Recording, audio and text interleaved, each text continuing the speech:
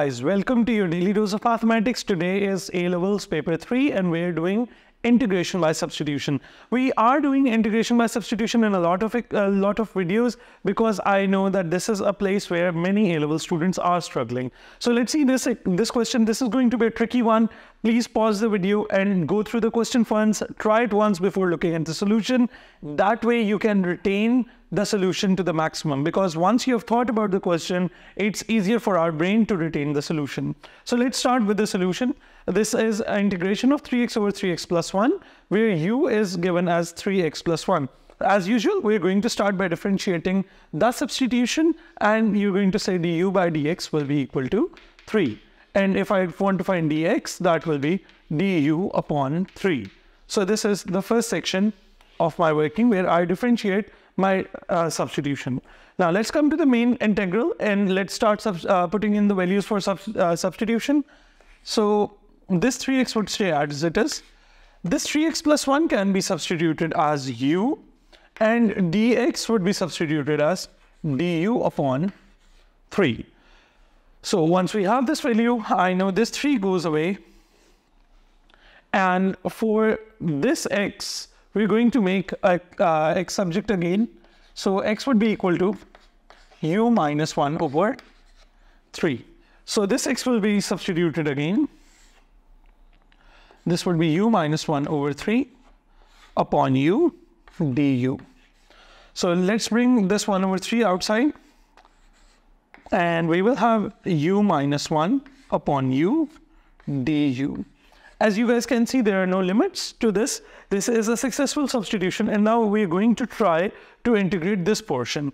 Now I've seen many students struggle with this portion because they're trying to think about something really difficult. This is actually not the case in this question. It's a very simple integration and all you have to do is you have to split this, uh, split this fraction. So what I'm going to do is I'm going to say this is 1 over 3 and we're going to integrate u over u minus 1 over u.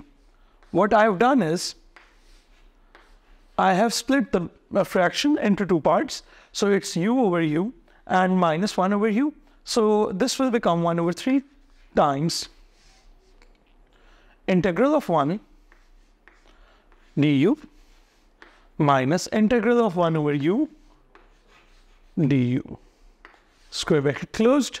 So the integral of 1 will become u eventually minus integral of 1 over u will become log of u. As you can see, differentiation of uh, the box is present in the numerator. So this will be natural log of u.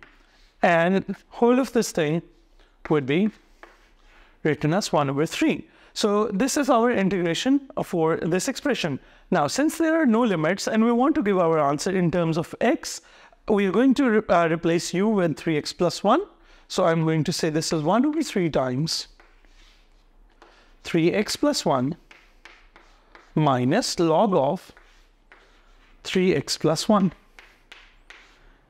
And this is going to be our final answer. So this was an easier question as compared to other trigonometric related questions that we have seen. But this is a really important maneuver that you must know in integration by substitution. So I hope you have liked this video. If you did, please share it with your friends who might not know this trick. And if you have any questions and any queries, do leave us a comment in the comment section below. And I'll see you in the next video. Goodbye.